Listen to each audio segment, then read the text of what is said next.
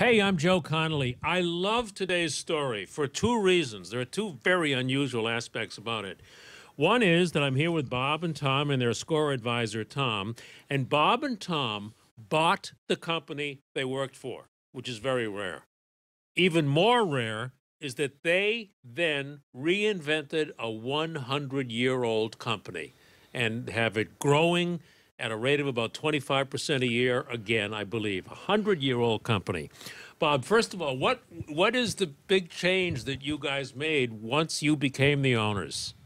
Well, we always looked and said, you know, if I was the owner, I would do things differently. And not too many people get that opportunity, and Tom and I did. And we went back to the basics and said, hey, a handshake is a handshake. That's the way my dad raised me. That's the way, you know, Tom was raised. And we're going to do that with our customers. We really focused on delivering the right products to the right kind of customer. We also understand the new regulations in food safety and consider our responsibility to take care of the food safety for our customers. And that is a full-time job too. Wow, so that's a real new value added. Tom, does that mean to say that the first thing that you new owners did was go around and meet all of the existing clients or what what was the first thing you guys did? We went around meeting some of the clients. Right. Reevaluated what we needed to do. Right. Uh, hiring practices. Right. You know, get it all together. Did you did you gradually take over though, or did you just buy it one day and you were the owners? Were you brought up to take it over? We were quite entrenched when we took it over. Because you'd worked there for a long Right. time. Bob had known the office and what the office does, and I take care of the operations. I guess what I'm asking is, um, did the former owners stay on for a little while Yes. to m- help you Yeah, take it over? the uh, Valente family understood that you know we were becoming their stewards of their name and their family, and we took over, having worked for them for. I was 20 year employee. Tom was a 40 year employee. Tom was actually the first non-family hire to the company. We had uh, we had known the customers, so we didn't have to actually go around and see everybody. We did go out and visit some. We other ones we called, and you know what? We just said, "Hey, listen, we're here to bring the company next generation, make it even better. It was a great company, okay, but let's make us ready for the next century." Did you suggest that you buy the company, or did the Valente family come to you? We approached them. You did. Yeah. So, y- d- were you planning this for a long time, or did it just hit you? No, it just circumstances led to that. Wow. But say, hey, there's an opportunity here. I went to Bob and said, I think we can make something work here. And we sat down, made a formula, kind of, and went forward and made a proposal to them. What advice? This is so rare to do what you guys have done.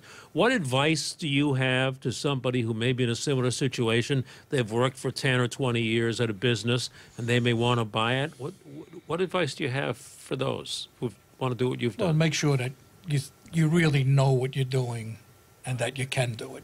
And if that's been your dream or whatever it is, you go for it. Don't let anything stand in your way. Tom is uh, your score uh, advisor.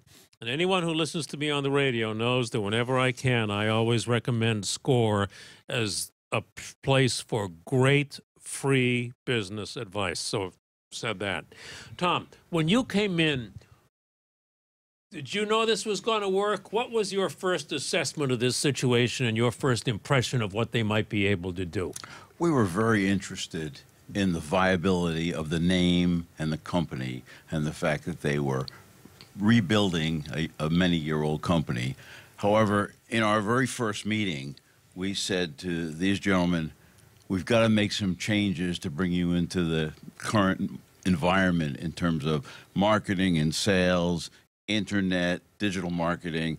And that really was our initial focus, bring you into the new century. And I, I believe in day one, one of the things we said to them is you got to hire a director of marketing and sales. That was probably the very first thing we said to them. Wow. And So you met your drill instructor. Exactly. Did And- we? And strategically, Tom has been great along with the whole team. And what did we do? We hired that director of sales and marketing. Okay, that was hired while uh, Dominic Valente was still part of the organization, and it helped transition. I had been active in the sales role of releasing some of my responsibilities to the director of sales and allowing me to take the, the role of CEO, president, and run the company. Wow. How long a period did this transition take? A year or two? Oh, about two years, yeah. And um, Tom, what did you do before you became a score counselor? What industry were you an executive in? I spent uh, 40 years in the consulting business, marketing, sales, promotion, market research consulting in my own company twice and worked for two other companies. Wow. Prior to that, I was at Procter & Gamble in the marketing world. But what's interesting is that in the very first meeting, you said, This is wonderful. We can support you. But look, there, are- there are some big changes that we're going to recommend here. Yes, Yeah. absolutely. And did you say you hired a sales and marketing person, or are that two different people? That is one person because, again, we are a smaller size company, How many employees today? about 30. Mid, I call it mid-size, so but yeah, it's it's still mid-size. technically small, right? So um, you need somebody really to take care of the real focus on sales, right? And it's not just sales; it's about delivering on our promises, right? Right. Um, we have a tagline where we kind of say like a mission, and it's delivering success one ingredient at a time. We believe that a baker buying ingredients needs to have a good formula, needs to have the right ingredients delivered, need to have the right um, people on their staff as well as people to consult from the outside. So we actually help bakers with formulas and, and whatnot when they're trying to develop new recipes. I myself am an experienced baker. I've had I have salespeople that are expi- uh, experienced chefs.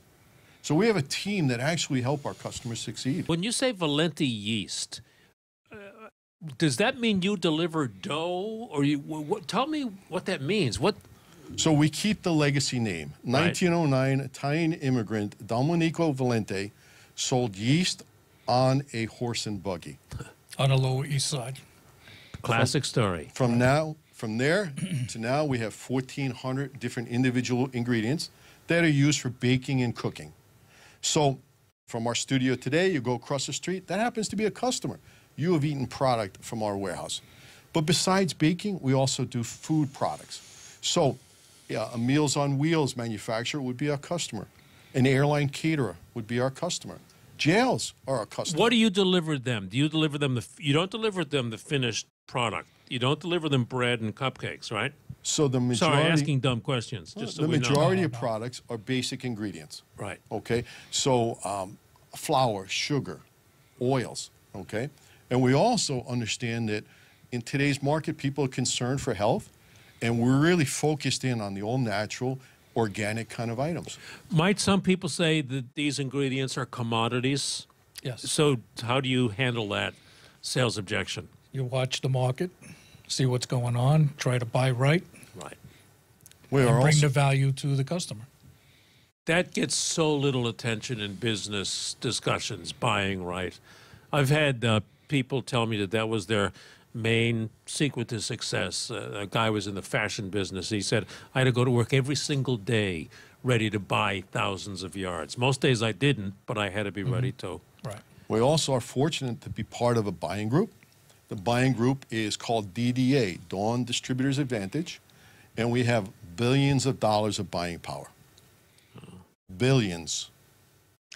Have you, um, Tom, um, done any other consulting on modernizing older existing businesses, or is this your main one here? No, uh, personally, I mean, I've worked with over a thousand score clients, and prior to that, probably close to a thousand other clients in my other business, and we've we've run, into it. I mean, I started after I left Procter and Gamble. I was with Arm and Hammer, and introduced all they had was the baking soda. I introduced the laundry detergent into the United States, and the Arm and Hammer story speaks for itself. Just don't mix the laundry detergent with the yeast. Just be careful with that. But see, though, how things tie together? I mean, you had a related experience. We always find this, that it's almost like karma. Things come together, fortunately, often. Um, where do you go from here? Now what? What? Just sell more of same, sell more differently? What? What are your plans for expansion and growth? So we've done a good team, a good situation by creating the team, hiring the sales and marketing director, Right. allowed us now to build a team uh, of salespeople underneath them, And I use the word salespeople, but they're really consultants. Okay, they are experienced in the industry, able to help help the customers. Um, we're going to continue to do what we do, and what we do is distribute locally high quality ingredients with the utmost of food safety for our area. You have said, I haven't written them all down, but you've used about a dozen very effective uh, words local, ingredients, effective, safe. Um, these are all powerful marketing, marketing words uh, that don't aren't normally used, it seems to me. Correct. But that's what working with SCORE helps us understand what our bottom line um, business, core business is about. Okay. It's not about the yeast only. no, it's not. No, not It at all. is about delivering success one ingredient to our ti- at a time. It is helping our customers succeed, knowing what we do right. We've said we want to be everything to somebody, not something to everybody. We understand the customer that wants our product, what needs it, and geographically, we just go a little further. But we're going to stay local. How many people in New York City? How many people eat grains in New York City? There's enough to keep Tom and I busy for the next 50 years.